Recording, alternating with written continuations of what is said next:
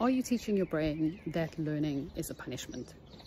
It's a really interesting question and it sounds quite bizarre, but think about the way that you approach your learning. Most of my students tell me they struggle with focus, they struggle with concentration, and then spend a lot of time on social media, Netflix, movies, escapism.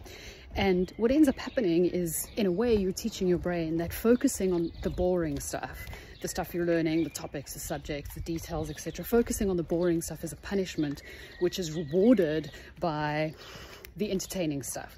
Now, this is understandable to an extent, but think about the messaging that's going on in your brain. Oh, shame, I have to do this subject. I have to do the studying. I have to do this stuff, but I really don't want to. But if you just hang in there, you'll get to the good stuff. You'll get to the good stuff, which is the entertainment, the stuff that I want to watch, and that's where I want to be. So you're constantly leaning towards entertainment, quick fixes, dopamine kicks that social media gives you, and you're forced to do the studying.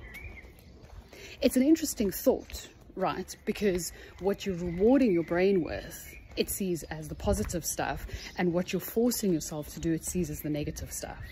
When I look at what students do, they very quickly get bored and they very quickly get annoyed and switch off of stuff that I talk about that's study related, career related, life related, because it's not entertaining. I've just come out of class, Yvonne, you know, I've just done my studying. I don't have time for this. I don't have energy for this. I want to go and do something nice. I want to go do something rewarding. I want to go do something fun.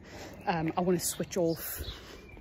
And again, while, while I completely understand where that comes from, I want you to think about the impact and the messaging in your brain uh, is your brain seeing, studying, the stuff that you're planning on building your career on, the stuff that you're supposed to be passionate about, that you tell your employers on your CVs how passionate you are about your, your studies and, and all the rest of this, but what do you spend your time doing? Are you teaching your brain to see studying as punishment for which it's rewarded with short-term entertainment?